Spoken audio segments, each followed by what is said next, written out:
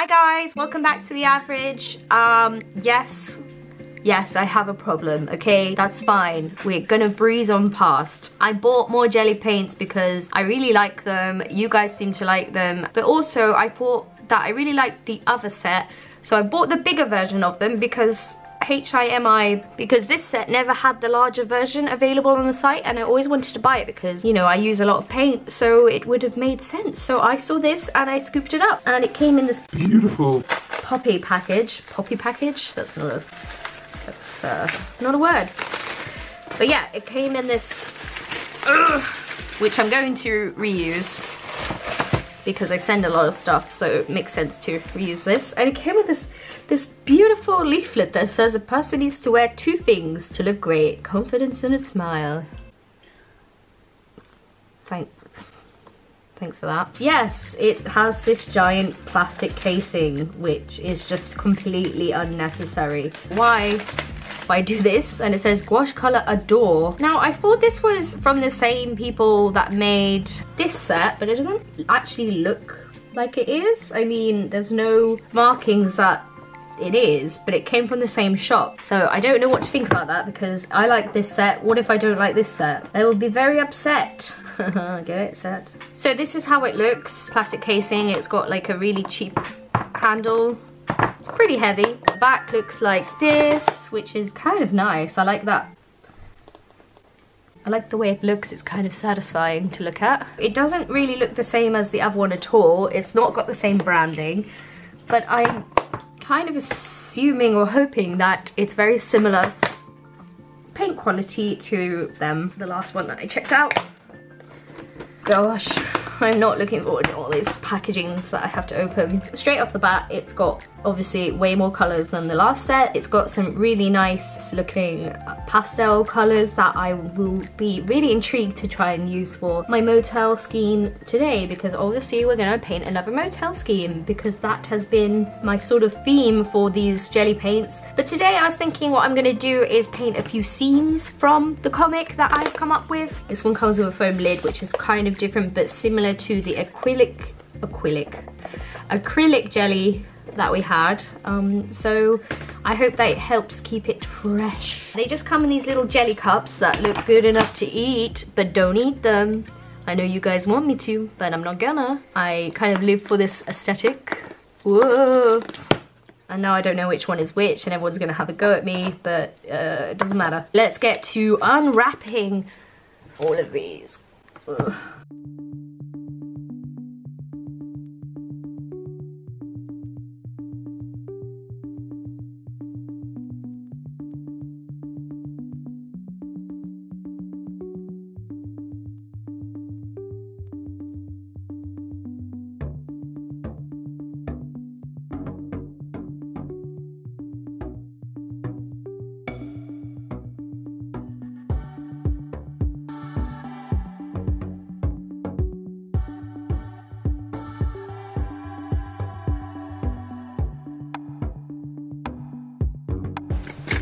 They're really gooey. Obviously I have more experience in this than you because I've done like three washing stuck on that one.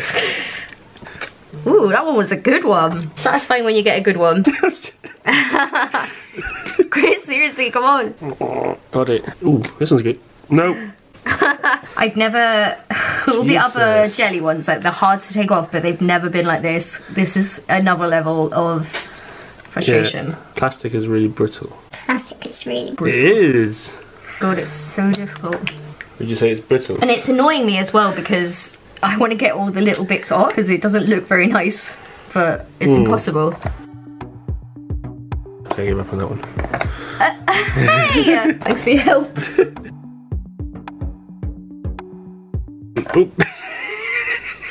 What? it's okay. A little, little bubble surprise. Have you not got paint all over your hands like me? I don't know. You're not going full in, that's why. Yeah, I'm more You've got so much delicate. fear in your heart. I got more technique. you say as I do this.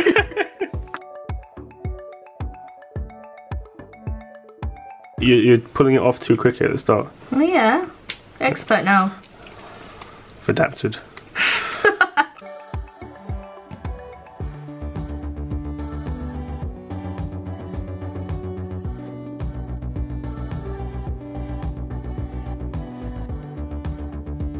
Do you hear my, my joke there?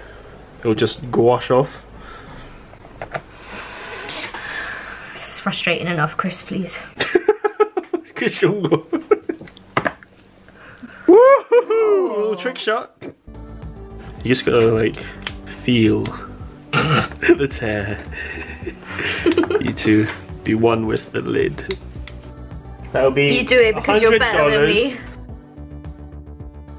Okay, so that was the most painful experience. I know I say that every time that I have to take the lids off these jelly paints, but this one was another level. Something I didn't notice before is that it's all kind of smashed up here. I didn't realize that until I was doing the peeling of these, but okay, that's fine. I mean, it's probably done in shipping. There is a really nice array of colors. Some of them look a bit oily, but I think that's just because I haven't mixed them up. Spoiler alert, it was because I hadn't mixed them up. They were perfectly fine to use. They were exactly like the other jelly gouaches that I have used in the past. And I really enjoyed using them. I think today I felt a little bit deflated today or something, or maybe just a little bit tired because at first it was so hard to get to something that I liked in these paintings. But eventually I get there.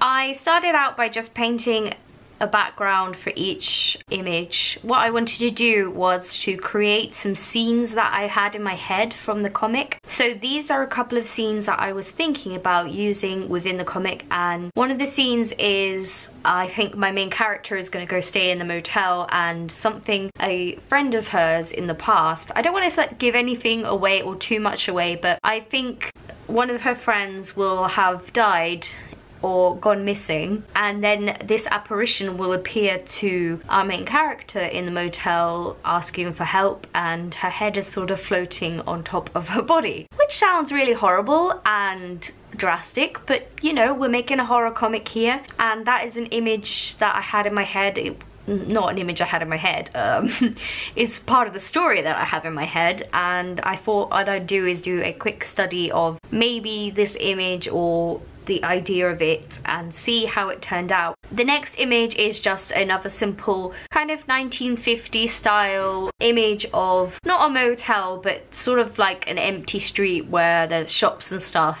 and it's kind of along the same color palette and scheme and theme of all the other paintings that I've done that I have led up to this point. And so that there's not much story behind that one. It is just another environment study piece. So I think I'm getting to grips with that pretty well. And I think I'm establishing the mood and theme and look of the paint um, painting the look of the comic. And I think that one really helped me to study or like realize how quick or slow it will be to create a comic with this style. So obviously these paintings took a long time and that is something that I keep referencing. I got a lot of advice in the last video in the comments to maybe simplify some of the panels of the comic and then have the really important ones really carefully painted out. And there is something definitely in that idea because I think it could be kind of play, playful in some panels where we have a bit of more abstract feel to them and it would reflect the disorientation of what the characters are feeling and sort of make the reader feel like that in some sense or if it's done well and right as I hope and intend to do then it will it will make the reader feel a little bit uneased. That's kind of my plan and I think what I want to do now building on this concept is to go with that idea of making panels that are quick and a reflection of mood and just quick painting and I think it will really work. Reading it I know that it would be the type of thing that I would probably pick up and want to read myself so I think that's always a good sign. People say that you should write about what you want to read or draw what you want to see I guess. And I think that's always a good thing to think about is when you're writing a book or anything you're writing this book for yourself first and foremost and that is a really important thing to bear in mind as you're going because I think it can get intimidating when you think about all the people that might read something that you've created or look at something you've created and you just have to be like no I'm making this for myself so it doesn't matter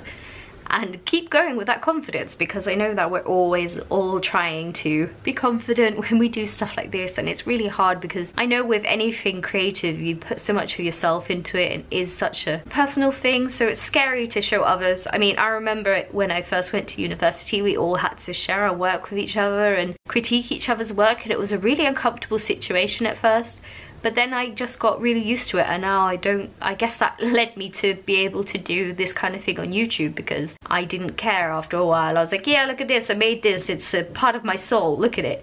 And then my colleagues uh, colleagues I guess other students I guess colleagues now at work they just you can rip into something and people won't take it personally. It's a critique. I think at the end of the day if a critique is done respectfully it's actually it's actually really a good thing to have because if somebody's giving you advice they're taking time out of their day to tell you like hey look this is how you could improve on something. And I think it's really necessary because you might not be able to see something wrong that they will see wrong. Well, that was a complete tangent, but anyway, these are two scenes from my comic. And the first one is the one of the friend, the missing friend, who she may or may not know what happened to her, and she's going to appear in a vision or uh, by her bed or something, and I wanted to create that unease, and I saw like these images online of like light hitting somebody, you know, when it hits through like those blinds that you have, those cheap blinds that you can pull up. I really liked the way that looked, so I kind of used that as inspiration as well as another picture of a girl sort of sitting with her hands up because I felt like it was quite a creepy pose. So again, I was using that Pinterest uh, technique, not technique, what I'm saying. I used Pinterest for inspiration behind these images and I think it really helps me to see what I'm seeing in my head but more clearly and I think reference imagery is always really good to help an artist and if you're stuck on drawing something you're not necessarily going to know straight from your head how to draw something out and it might just come out really wonky so it's always good to use reference not completely straightly copying necessarily but getting elements from it and kind of doing something in your style from a photo I think is sometimes a good thing. And yeah just helps learn and helps learn helps you learn. I think it really is helping me develop a lot as an artist and trying to conceptualize stuff. It's really handy. The comic is coming along well. I think I've written half of it before and I need to keep going with it. I am steadily getting the knack of doing these paintings so I want to try and do a lot of them but smaller. So that's why I've done two this week because I wanted to see how long it would take me to do sort of two different scenes at once and how long uh, like what kind of time frame it would maybe be to create a whole comic in this style because I'm thinking that it's going to be about the same size as my old comic which is um, in the link down below if you fancy grabbing a copy. And that one was done with um, Copic pens and pencil and ink and you can you can check those out on my Emily's Burning Vlogs. That's the name of the comic. I did a whole series about creating that comic. And yeah I want to have a similar a similar size for this one. It's not super long. It's not like graphic novel size but it's not it's still a heavy undertaking. So I need to bear that in mind um, when I'm thinking about how many pages it will be as I'm writing it because I don't want to go too much but then I don't want to cut the story down so much that it would be lacking something. So it's a fine line, guys. It's a fine line. Okay, that's it. That's the final images. I really like the way they turned out eventually. As I was saying in the voiceover, it did take a while to get to that. And I think this is how they are. This is what they look like. And I hope that you guys enjoyed watching me get through another jelly session. I think this will be the last one now because I think I have enough paint to get me through making this comic. So let's, let's see how that turns out. Um, if you guys really enjoyed this video, please think about subscribing because it really helps the channel out. And uh, give it a little like if you want to. Um, yeah, that's it. Thanks for watching, guys. See you next time, hopefully. Bye!